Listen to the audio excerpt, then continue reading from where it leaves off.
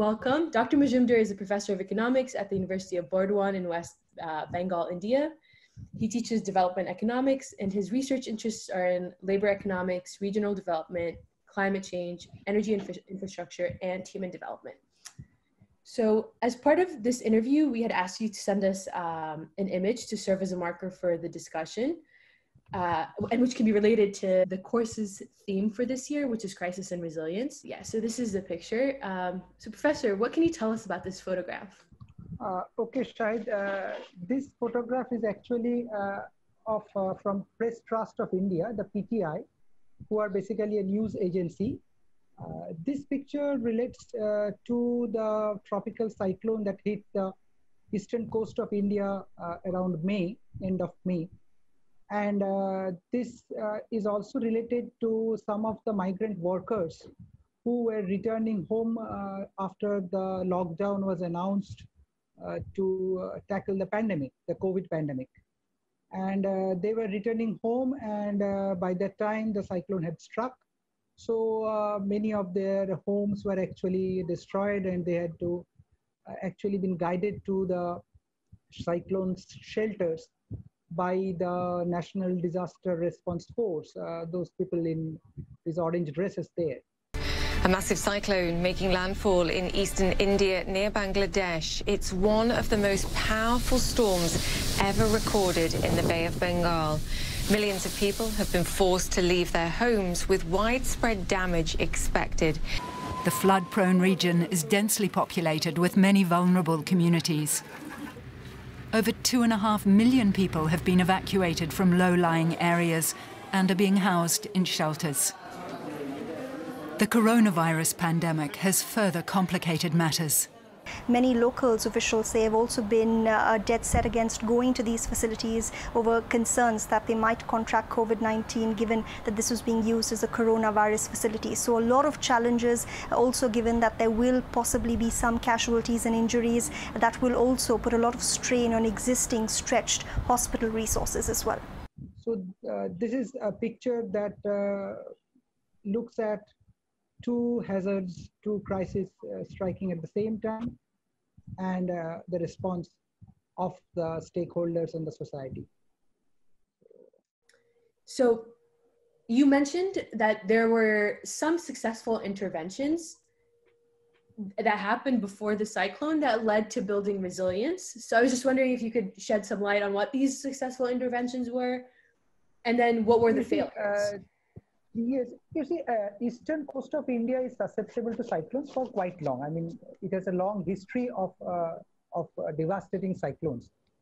In fact, I have uh, just uh, finished a paper on this uh, this pandemic and cyclone and this resilience, which is going to be published in an edited volume coming up from Mumbai University, where I think Shahidi had visited. Mm -hmm. So there, I have drawn these historical anecdotes how devastating cyclones have been in eastern India. So uh, starting from 1970s onwards, the government of India tried to uh, tackle cyclone in a much more coordinated and much more uh, sort of what I would say in a in a uh, integrated approach. So uh, there are three basic uh, pillars on which this cyclone management and resilience planning was built up. The first was to have scientific and technological capabilities in terms of state of the art early warning system and tracking of cyclone. So that has been excellent over the last 30 years or so. So we have very early warning and dissemination of that warning through leaflets, through public address system, through mobile cell phone messages and all those things. The second was building of uh, cyclone shelters uh, with some support from the World Bank. Uh, so throughout the coastline, lots of cyclone shelters were built up where people could be moved and evacuated and moved during cyclone. The third thing was that there was a there was a quite a good coordination, especially after the building of, of the National Disaster Management Authority and the National Disaster Response Force uh, that was uh, in 2006. So because of that, uh, the loss of life could be cut down drastically from cyclones. But obviously, uh, loss of property uh, and loss of uh, economic activities could not be cut down that much. uh, but uh, loss of life could be cut down very drastically. And that was, uh, these three were the basic in, ingredients of the success in bringing down loss from cyclone over the last uh, 15, 20 years. But this time it was a little bit different.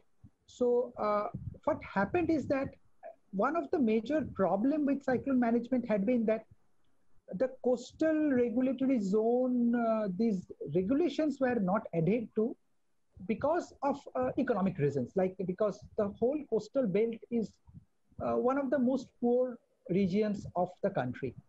So uh, the people, they base their livelihood on the coastal activities. And so a lot of economic activities are basically built on the coastline. So this means that uh, they're exposed, the exposure level is higher. And if exposure level is higher, vulnerability is also higher.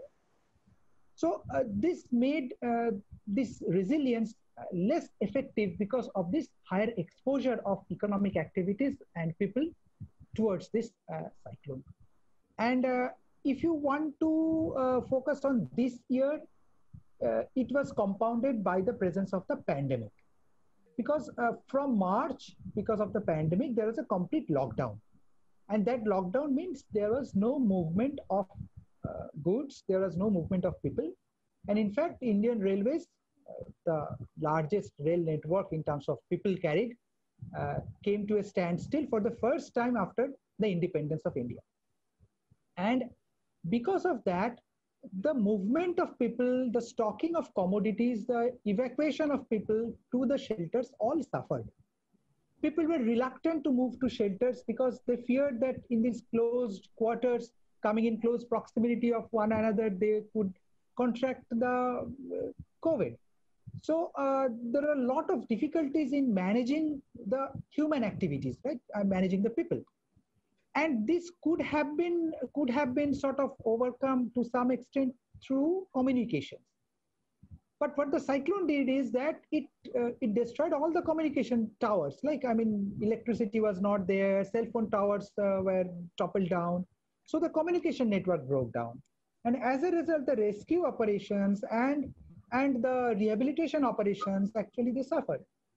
There's so much room and potential for a lot of these compounded hazards, right? Like one country would have maybe two hurricanes happening around the same time. It happened in Louisiana this uh, past summer. They were hit by one uh, hurricane and then were hit by another one right as they were trying to recover from the next one. So moving forward, how do you envision the discourse around resilience will change, especially as the world faces more compound hazards? Like, how will resilience planning change? That we, how do you take into account all of these different hazards? No, I think uh, you see before this before this uh, compound events actually happened, and uh, the different types of compound hazards, one uh, biological hazard, and the other uh, natural environmental hazard, uh, over which over none of which we really had any control, right? So uh, I think uh, the planners, the policymakers, and I would say the governments across the world have now been sort of shaken up that they have woken up to the reality that yes, these events uh, can happen and they can happen together. And so uh, once they happen, they have a huge economic cost. They have to they have to integrate the resilience planning for different types of different types of events, different types of hazards together. Like now they cannot they cannot just plan for a, a cyclone without keeping in mind that it may well happen that there is something like a pandemic and they have to maintain a physical distance. So uh, now we are now we are hearing of that we have to build up a lot more uh, cyclone shelters so that even we can accommodate people even after uh, maintaining the physical distance uh, that is necessary. Uh, similarly, uh, different uh, different protocols that we have, standard operating protocols under different disasters, they have they were basically in silos, right? They were they were built for one type of hazard for separated, like in different compartments. But now they have to think of that. Okay, two or three events can occur together and then how do we integrate between them how the standard operating protocols uh, should actually look like under this compound situations so so the so the discussion have started at least in the academic uh, and the so-called the interaction between the government and the academicians and i think that uh, we would move in in that direction. The movement would be a little bit a little bit speedier. Um, I was wondering if you could just give us a little bit of an overview of what the migrant situation is like in India um, that you discussed in the research that you provided us, and to explain kind of what is this reverse migration that we're seeing and what factors play the biggest role in, in, in resulting in this migration? Well, you see, uh, India uh, being a heterogeneous country and a large country, mm. and uh, because of uh, inter-regional differences in the economic levels, there are certain pockets where economic activities are concentrated. And there are certain pockets where uh, economic activities are sparse. So uh, people are always on the move like the classic uh, migration models of people moving from the less developed areas to the more developed and economically happening areas. So uh, at present, more or less 40% of India's workers are migrant workers. And they're migrant workers at different levels because in migrated workers in India are of different forms. One, there is a long-term migrant who have shifted out and were staying elsewhere for five years, 10 years or more. Then there are what we call the semi-permanent migrants who actually have moved out, but they have moved out for three to five years. They're working in a different city, but they always have the connection with their homeland, with their with their native place, and they keep on going back and forth. And we also have what we call the circular migrants or the seasonal migrants. These type of migrants are like those strawberry pickers. They move uh, along the agricultural seasons like they go for the harvesting season or they go for the for the sowing season and they also go for a lot of construction work in the in the uh, lean agricultural season when there is no work to be done in their villages in their own villages so uh, there is this type of two different types of trains that happen that sometimes people go out during the agricultural busy season because there is a demand for work in some other place. And people also move out in the lean agricultural season because there is nothing to be done in their in their own place in their own villages. So this this uh, migration situation in india is very complex and one has to really go into uh, in depth into the into the working of the migrants and the movement of the migrants and the characteristic of the migrants to understand to have a grasp over that. Exodus that hasn't been seen in india in decades. Thousands of migrant workers are on the move, most of them on foot.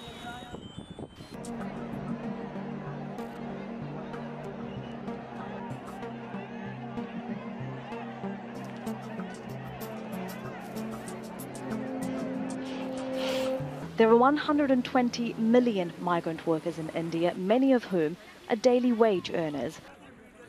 After businesses shut, many like Kiran can no longer afford to pay rent. She's traveling 300 kilometers with her young child. Uh, you see, when the when the migrants actually found that in the place where they were staying, they are not welcome because obviously the migrants uh, had to stay in their destination place in cramped atmosphere, like they they stayed uh, five persons in a room and all those things, and they, their work were mostly in terms of uh, casual employment. They were not like a permanent type of jobs. So once when the lockdown was announced for one week, two weeks, three weeks, they thought that the lockdown would be withdrawn because initially you would remember that they were announced for 21 days. So they were hoping that, okay, after 21 days, everything would be normal. So they stayed put and they spent all their money for, for running over these 21 days, during which time they did not get any wages because since the, since the workplace were closed. And after that, when the lockdown was extended, what they found is that they don't have any money and they don't have any sort of entitlements to visit the medical facilities which are available in their destination place where they were staying. And so they wanted to get back to their own native place where they could at least get some food to eat, at least some place to stay, and at least their their uh, near and dear ones to just look at them and to feel secure the whole sort of sort, sort of mental security that you get when you are surrounded by your family people but then they found that not only are the public transport system closed down it has been declared illegal to move from one place to another. So, I mean, there are horror stories of people getting cramped inside uh, milk tankers or oil tankers or lorries. I mean, what we used to hear in India about people moving from, say, from uh, Western Asia to Eastern Europe, the whole lot of refugee problems that we have been hearing of, and the so-called horror stories of people moving across countries to just move from Syria and other places to Germany and Italy and Greece. That happened in India. And we lost lives of migrants trying to get back from their workplace to their homes. So this was the type of situation that we faced during April, May, and June. So, so what were the policy failures? Like, what led to this? Um, like be- beyond what you talked about, which is like the lockdowns, there isn't any health benefits. Like, what could have been done better? Lockdown was uh, very sudden, right? And it was uh, so sudden that people did not have time to, to be prepared for that. Second, I think the policymakers did not have a clear idea about the magnitude of migrant workers and the complexity of migrant workers in today's India. This was second thing. They did not imagine that there are so many migrants and so many different type of migrants who would be facing a problem. And third policy failure was that uh, what we have been speaking for quite some time now is that the migrants in India do not have entitlements in their destination place, save a few states like Kerala and some other places. But those are isolated cases. The migrants do not have any health card.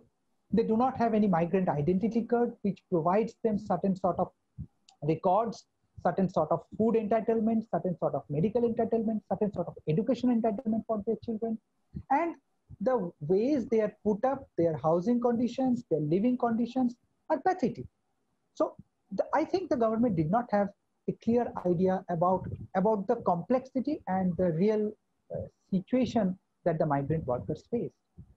And then they could have actually, even after the lockdown, they could have run certain special trains, special transport facilities to bring the migrants back and to keep them in shelters, keep them in quarantines, but at least give them certain, what I would say, certain humane, uh, humane environment or human attitude towards them. Do you think the um, what happened with the migrant workers and the arguably lack of um, um, reaction from the government do you, do you think that's going to change and there's going to be better policies to protect these migrant workers um, yeah it will it will work both ways Faith. it will work both ways in a sense that the government has learned from its mistakes mm-hmm. and now it is much more prepared it now knows where the where the fault lines actually lie and so uh, they have addressed quite quite a few of these issues and so if they happen once more they are much more prepared. Yeah. at the same time the people are also much more prepared in a sense that they know uh, uh, people on the streets they they speak of that okay uh, in india the second uh, the flu season is a little bit late right? It, it starts around december. December january february is the flu season in india. So uh, then they apprehend that if things go out of control, then another lockdown may, may be announced. So they are much, much prepared about that.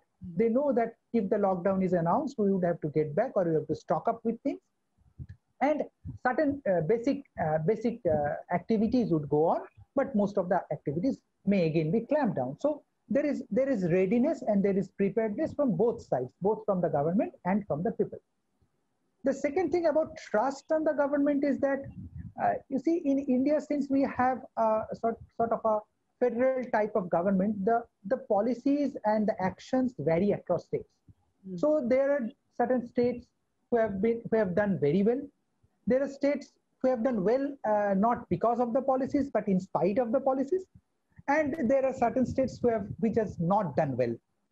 But what has happened is that uh, people now uh, know that uh, on one hand, their livelihood and their economic activities has to go on. So they try to innovate. Like now we have a lot more what we call the home delivery system at work. Earlier, the home delivery system was like much more on an organized level on the on the part of the conglomerates and the organized sector like Swiggy and Amazon and Flipkart and all those things. But now we have home delivery even for the local fishmonger or local grocer who says that you just give me a call and I will send things to you. So uh, people have innovated from that way also that they have tried to tried to look, try to ensure their livelihood and economic activities, even if the government imposes a lockdown. So uh, people are also innovating. Their, their business ideas are also coming up. So in a sense, I think even if the second lockdown is announced or the or the second wave comes, uh, society is much more prepared. So uh, the unrest or the confusion would be less. I, I have no idea about what the health impact would be because that would depend on the intensity of the of the biological hazard. But as a development economist, the, the confusion would be less, certainty would be more, and people are now prepared to innovate and carry on with their day-to-day activities. I think this is actually a great point to end because it just highlights how important resilience is, right? Because now we're much more able to absorb the shock and react and adapt to it as opposed uh, to before. And it happened with experience, unfortunately, but moving forward, I guess we just have to figure out ways to be ahead of the yeah, curve. of course. Uh, of um, course. Of uh, course. I just want to say thank So, you see, so much I- for your time. If, if, if, if I can intervene for one minute here, just Yeah, like of you course. said of learning. Yeah, when my little daughter used to run uh, along in my hallway, there was this little edge of my working table, right? So the first three or four times she stumbled on that corner. But after doing it two to three times or three to four times, she always used to run in full speed, but always uh, was able to avoid that corner. So that is what uh, these hazards teach us to make us resilient, that we don't fall down. It's a great example. Uh, but again, Professor Majumder, thank you so much. We really appreciate this, taking the time off your schedule to come talk to us. I, did, I do want to thank you a lot for for giving us your time. Welcome. Thank you so much.